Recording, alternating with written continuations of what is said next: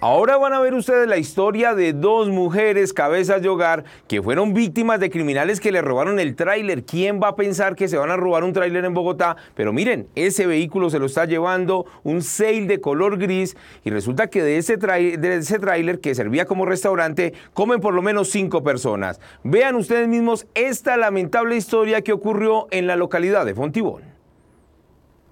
Así se robaron un tráiler que servía de restaurante en la localidad de Fontibón.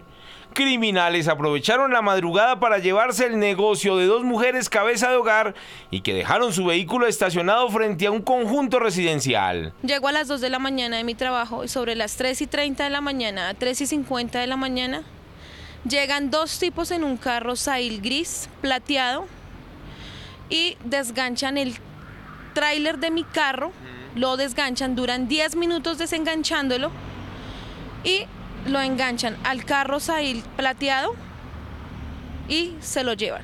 Las víctimas aseguran que con gran esfuerzo consiguieron la cuota inicial para comprar el carro, que servía para el sustento diario de tres menores de edad y dos mujeres. Sobrevivimos de lo que trabaja ese tráiler, nada más. No hay otro ingreso, no hay nada más. Ahora mismo le piden a los delincuentes que les devuelvan el tráiler. Cualquier persona que lo haya visto de 3 a 4 de la mañana, 5 rodando por la ciudad de Bogotá, por toda la variante, él coge por toda la variante, pues le agradecemos cualquier respuesta, pronta respuesta. Quien tenga información del vehículo, por favor informe a la línea única de emergencias 123.